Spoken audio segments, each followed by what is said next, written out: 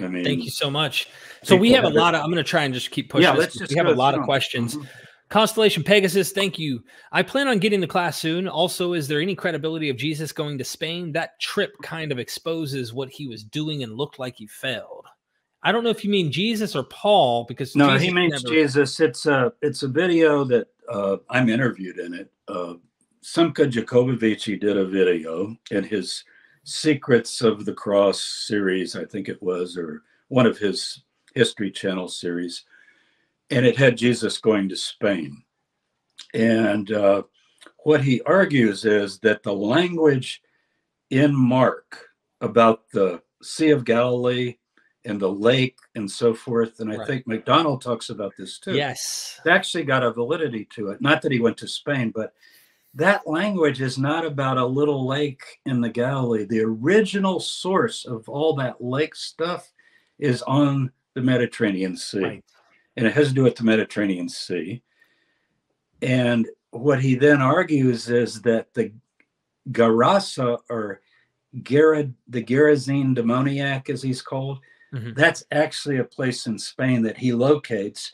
And in the video, goes to it and talks to people, and they go, "Oh yeah, we've always known that. We have traditions that Jesus came here." I'm sure they're middle e- Middle Ages, probably, Yeah, but that's still cool to find but out. it's that- cool. But Yeah. it's I'd say, you know, did Jesus go to Spain? I, I'm teaching Mark, so Right. you know, if you if you take the Mark course, I'm not going to get into that. But I did agree to appear in the video, and he has me sitting on the shore of the Mediterranean, pointing behind me, saying, you know, is it possible Jesus went here? So all I do in the video is point out that yes, indeed, it doesn't say it doesn't say lake, it says sea, and the way the storms described, and also Gadara and where it's located doesn't seem to fit Mark. Exactly. So that would then hook into some of the material that Dennis has done. Whether one agrees totally with Dennis or not, and I've got his book on order, and I want to read his latest work on I Mark. That's something that I can't wait to hear your thoughts on as someone who's I read want. I want to hear it. But I'm that's where that goes. Now, to say, did the historical Jesus actually leave, you know, Galilee and Roman Judea, Palestine, and go to Spain? I would say probably not in that passage. Like the Gerasene demoniac is presented as part of the Decapolis. I just stay with Mark on that. Yeah. However, you got medieval stories of little Jesus going to around Spain and up to England because you have to go around Spain to get up to England Right. because his uncle Joseph of Arimathea is a tin merchant, and that's where you get all that Glastonbury stuff and so forth. I get asked this all the time by students. What I did for years was to say, and I say this to all of your viewers ask yourself, what is the earliest source we have on that, whatever the that is? What's the earliest source we have on that, and how do we have it? That's very upsetting Mhm. because I would say the earliest source on a lot of things is Josephus.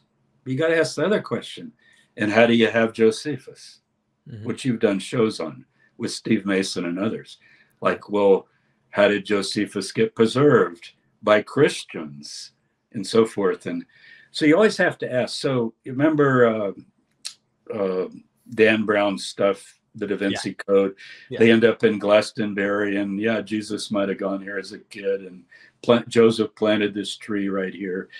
Okay, that's the local legend. What's the earliest record? Or Mary Magdalene's in Spain, and they found her tomb, and they even did DNA on this corpse's hair.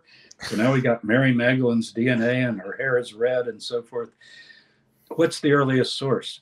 Time and time again, you're not going to get past the Middle Ages. You're Yeah. really not. So my work has tended to always go with the, if possible, a first or second century source.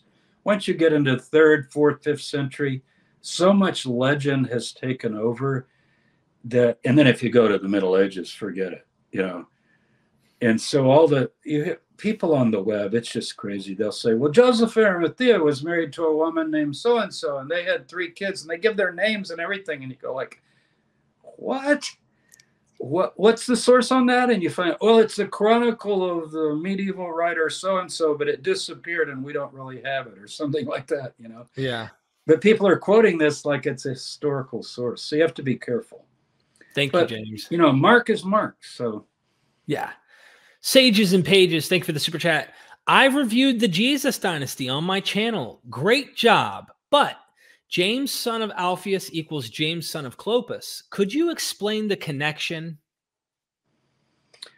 Yeah, the uh, the idea that I present in the Jesus Dynasty, and uh, I, I've said before on Monday, Wednesday, Friday, I'm convinced of it. On Tuesday, Thursday, Saturday, I'm not sure, and on Sunday, I flip a coin because a lot of the things we're not sure of. But it is the case that kalaf in Hebrew, the verb kalaf, comes over into Greek as Alphaeus. Kal, you can hear it, kalpheus it's got the three letters of Hebrew. And so Clophus, see the K, L, and the F, Kalaf, Clophus, Calpheus, it's all the same name. And it means to replace. So I suggested that when Joseph died, if he had no children of Mary, then you would have the Levirate marriage. And that would be that his brother Kalaf, the replacer, of course, that wouldn't be his real name, that would be his nickname, uh, would be, you know, it'd be like Peter the Rock, James the replacer, meaning it's Joseph's brother, Clophas, the replacer, who actually would be the father of those other boys, James, Joseph, and Simon and Jude that's a possible theory. Eisenman is one of the people that has suggested this, and I presented it in the book, gave them credit, others credit. Um, I'm not totally sure, but it does. Uh, I'll tell you this, Derek. This gets back to Mark. If you go to the list of the 12, there are four lists of the 12. We have one in the book of Acts. We have Luke, Matthew, and Mark each have one. But Mark is the key list of the 12 because he's first and I think I've got my Bible right open to it here.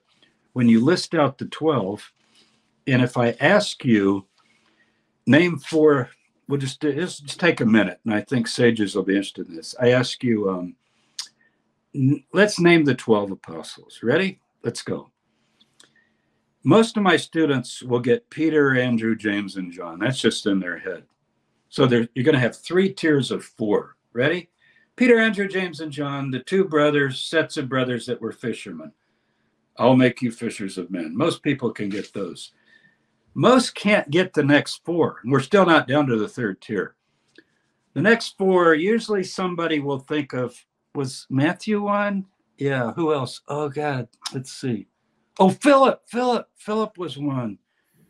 And what about uh, Thomas? Yeah, of course, the doubting Thomas and Bartholomew or Thaddeus. Okay, I got I've got eight. Okay, now you're in trouble. You got to give me four more. And I'm going to give you one of them, Judas Iscariot, because I know you're going to get that. So now we got three apostles. Can you, without looking, tell me the names of the last three? No. Derek. Isn't that funny? Even Derek Lambert does Well, not. I know. I'm not. Well, listen to this. James, Simon, and Jude, the names of the three brothers of Jesus. right. And one of them's called James, son of Alphaeus. You see? Yeah. Son of the replacer. So it's a possible theory that has been suggested. And um, whether it's, you know, we just, how often do I say to you, Derek, so many things hang on a thread? Yeah.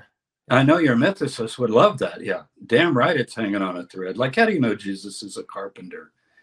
Well, first of all, it's not carpenter; it's builder. Okay, he's a builder. But how do you know that? One verse, Mark 6 3. One verse. But everybody knows it. I've seen it on license plates. My boss is a Jewish carpenter.